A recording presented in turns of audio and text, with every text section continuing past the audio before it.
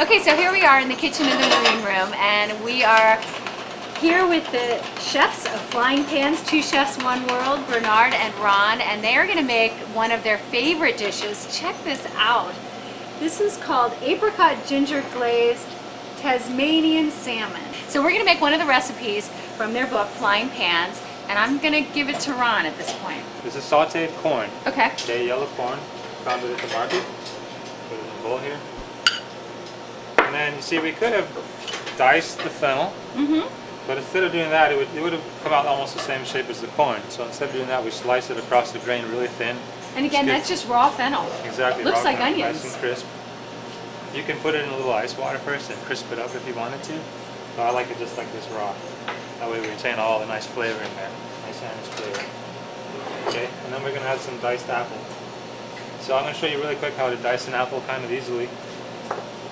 A lot of people, what they'll do is they'll cut it into quarters and take out the seeds first. But it's much easier just to keep the apple whole. Cut a little piece with the skin off. Then you cut some flanks like this. Okay, just go right down to the seeds. Ron, does it matter what kind of apple one uses? I like to use an apple that's a little bit sour. This is a gala apple. And then we go this way, and you have a beautiful dice. And you're leaving a little bit of the skin on. Yeah, the skin gives it a little more color. Mm-hmm. And also, if you use an organic apple, it's nice to leave the skin on. Okay, put that in there. These are gooseberries. I have never heard of Yes, it is. gooseberries. Okay, this is from New Zealand, and it's like a, a relative of the tomatillo. So when they come, oh, they have a husk on like this. Mhm.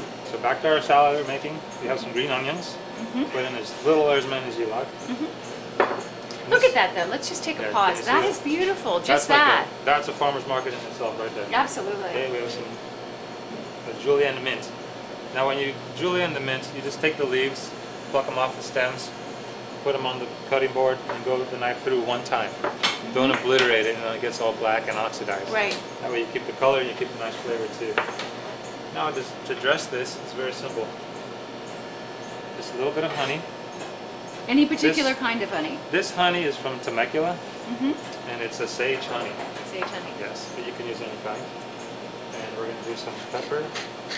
Okay, so now we have sour with the gooseberries, sweetness with the corn and honey, a little anise flavor with the fennel, some salt and pepper to give it some spice, and we're going to finish off with a little lemon juice. This kind of creates the dressing in there. Okay, call me crazy, but I'm looking at this thinking this could be a great tossed salad with a little This, vinegar. you could, you know, I would eat this for Me breakfast. too. You okay.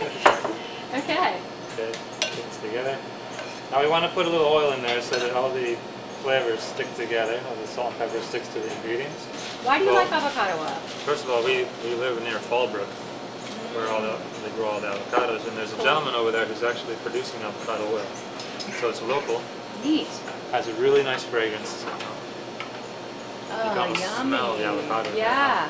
Very neat. It tastes, it smells nutty almost. Yeah, you're gonna see the color, how green it is. Isn't that beautiful? Beautiful.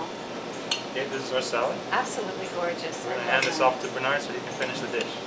All right, so we sear on flesh first for about, I would say a couple of minutes. So always tilt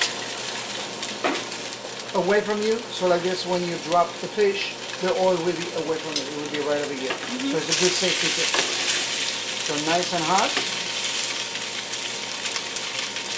I always keep it skin on, and the reason why it is skin on is because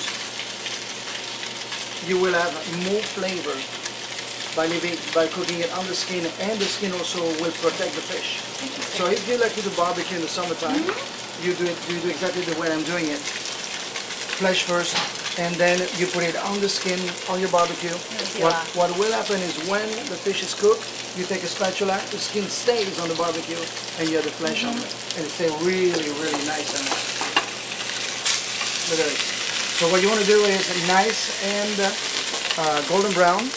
You want to have that beautiful searing up effect because this is where you will be get, able to get all the flavor. So there is a rule. Then if we call it the three inch rule. If you crowd your pan with let's say five pieces of fish because we have five people coming Right. home for dinner, most likely that pan will really go down and lose all the heat.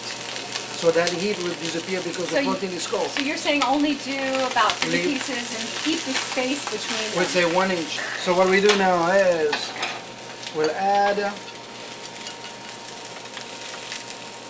a little bit of our glaze. Beautiful. So you really want to make sure that you're pretty generous on this because it has a really, really wonderful flavor. Now, how cooked are you cooking the salmon? Are you going to have it pink? Medium rare, Okay. always medium rare. The reason why I want to cook it medium rare is because he will continue to cook on his own. So every time, every time that you are cooking protein, especially like salmon, you want to cook, you want to cook it medium rare. By the time that you serve it, it will be another couple minutes, right? So the heat continues to go through. Okay. If you cook it medium, which is mm-hmm. people like it, like the fish cooked medium, well, by the time that you were serving it, it would be medium well. Mm-hmm. Okay, so it's been in there just for about a minute. It's been over there for a minute, so I do believe that it's going to be ready. Oh yeah, perfect. Oh my gosh. So you see the heat has not gone all the way through, so it's on the medium mm-hmm. rare side. We're going to put our relish first. So as you can see, on the bottom of the of the um, of the bowl, you have a little bit of juice. So this The will- avocado oil. Yeah, yeah, the avocado oil, and also the uh, the juice of the corn, as well as the uh, the fennel.